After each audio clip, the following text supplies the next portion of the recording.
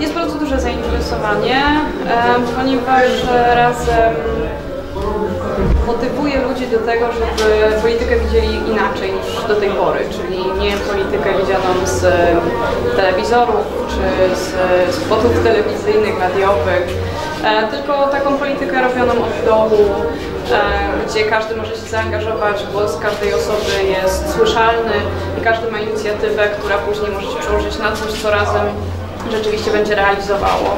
E, dlatego na te spotkania przychodzi dosyć dużo osób, e, jesteśmy przyjmowani stosunkowo ciepło, chociaż czasami oczywiście zdarzają się osoby, które się z nami nie zgadzają. Przychodzą porozmawiać, rozwiać swoje wątpliwości albo jakby utwierdzić się w tych wątpliwościach, które mamy w tej chwili. E, nie jest tak, że, że są jednolite, każde takie spotkanie jest indywidne. Każde miasto ma, ma, ma, swoją historię, ma swoich mieszkańców, ma swoją lokalną politykę, dlatego każde z tych spotkań jest po prostu inne.